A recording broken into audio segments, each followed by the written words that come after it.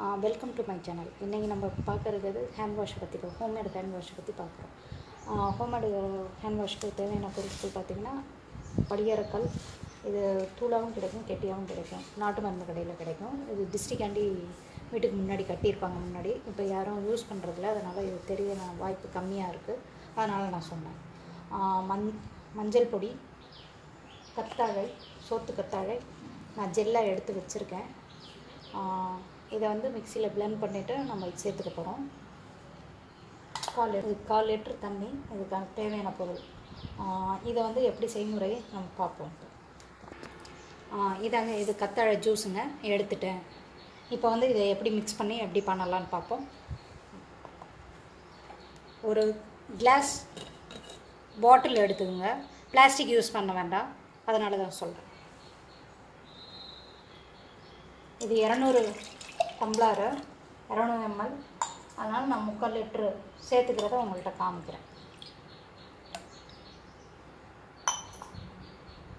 இதில் இந்த ஜூஸையும் ஆட் பண்ணிடுங்க இது ஜெல்லு கலந்த தண்ணி. இதில் மஞ்சள் பொடி ஆட் பண்ணிக்கிறோம்.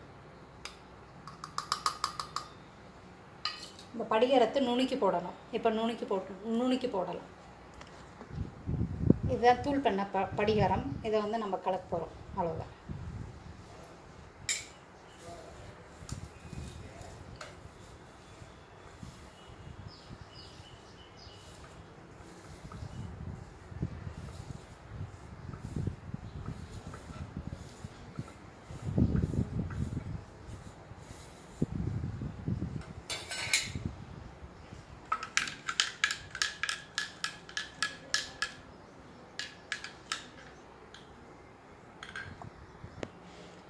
இதுதான் நம்ம கலக்கின ஹேண்ட் வாஷர் இது ஹோம்மேட் ஹேண்ட் வாஷர் எயிட் ஹவர்ஸ்க்கு அப்புறம் யூஸ் பண்ணிக்கிங்க.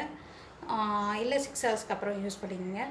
முடிஞ்ச வரைக்கும் கண்ணாடி பாட்டிலில் வச்சு யூஸ் பண்ண பாருங்கள் அப்படி முடியாதவங்க ஹேண்ட் வாஷ் முன்னாடி வாங்கியிருப்பீங்க பாருங்கள் டெட்டால் ஹேண்ட் வாஷ் அதே மாதிரி வாங்கியிருப்பீங்களா? அதில் வச்சு யூஸ் பண்ணிக்கிங்க.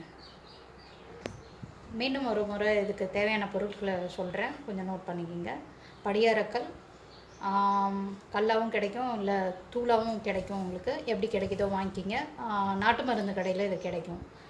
கத்தாழை சோத்து கத்தாழை கடையிலையும் வாங்கிக்கலாம் இல்லை வீட்டில் இருக்கவங்க வீட்லேயும் யூஸ் பண்ணிக்கோங்க. மஞ்சள் தூள் வந்து அரை டீஸ்பூன்.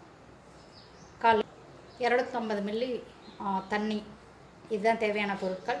பண்ணி பார்த்துட்டு எப்படி இருக்குன்னு கமெண்டில் எங்களுக்கு சொல்லுங்கள் வீடியோ பிடிச்சிருந்ததுன்னா சப்ஸ்கிரைப் பண்ணுங்கள்